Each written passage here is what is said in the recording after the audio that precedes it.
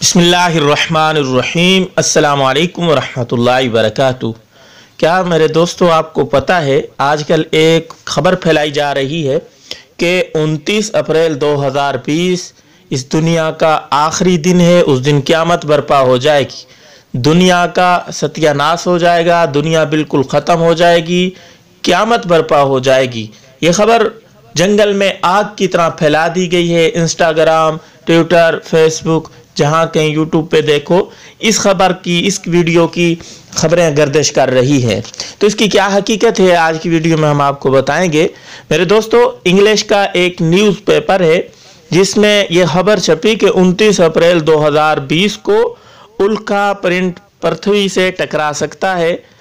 اگر وہ الکا پرنٹ پرتھوی سے ٹکرا گیا تو پھر قیامت برپا ہو جائے گی۔ دنیا ختم ہو جائے گی، دنیا فناش ہو جائے گی۔ یہ خبر جنگل میں آگ کی طرح پھیل گئی۔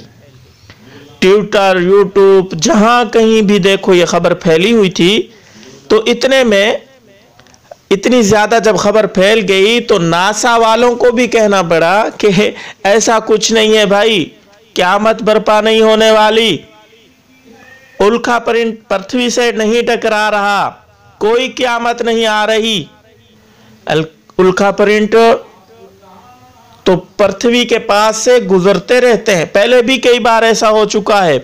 البتہ یہ ہے، یہ ناسا والوں نے کہا ہے کہ البتہ یہ بات یقینی ہے کہ یہ ایک بڑا الکا پرنٹ ہے۔ یہ بہت بڑا سٹرائٹ ہے اور اس کی رفتار جو ہے تینتیس ہزار فی گھنٹہ ہے۔ اللہ اکبر، اتنی بڑی رفتار اور یہ پرتھوی سے نہیں ٹکرا رہا۔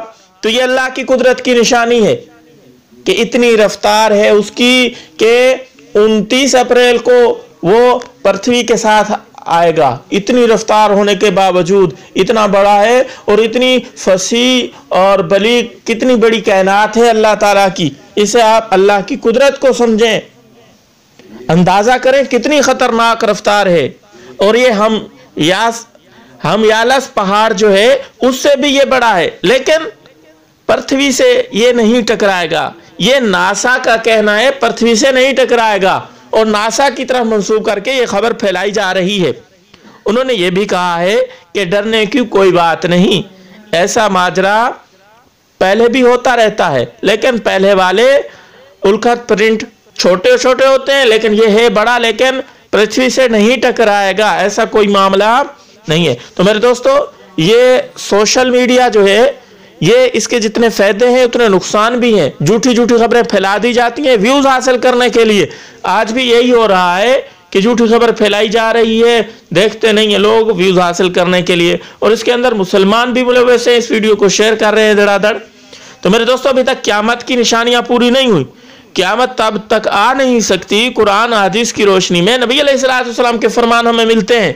قیامت اس وقت تک نہیں آئے گی جب تک قیامت کی نشانیاں پوری نہ ہو جائیں۔ قیامت کی نشانیوں میں سے دجال کا آنا ہے، حضرت عیسیٰ کا آسمانوں سے اترنا ہے، مہدی کا آنا ہے، اسلام کا ہر کچے پکے مکان میں داخل ہو جانا ہے، سورج کا رونگ سیٹ سے نکلنا ہے، مغرب سے سورج طلوع ہوگا، اس دن قیامت برپا ہو جائے گی۔ اور یہ سب سے بڑی قیامت کی نشانی ہے۔ دوستو، ان چار پانچ نشانیوں میں سے کوئی بھی نشانی ابھی تک نہیں پائی گئی۔ تو پتہ چلا کہ یہ حدیث کے مقابلے میں یہ خبریں آ رہی ہیں، تو ان خبروں کو چھوڑ دیں ردی کی ٹوکڑی میں ڈال دیں، ان کی طرف توجہ نہ دیں۔ نبی علیہ السلام کے فرمان کی طرف توجہ دیں، نبی علیہ السلام نے جو نشانیاں بتلائی ہیں، وہ بھی پوری نہیں ہوئی خدا رہا ان ویڈیو کو شیئر نہ کیا جائے اور اس ویڈیو کو جو میں آپ تک پہنچا رہا ہوں، پیغام زیادہ زیادہ شیئر کیا جائے تاکہ مسلمان اس گناہ سے بچ سکیں۔ السلام علیکم ورحمۃ اللہ وبرکاتہ۔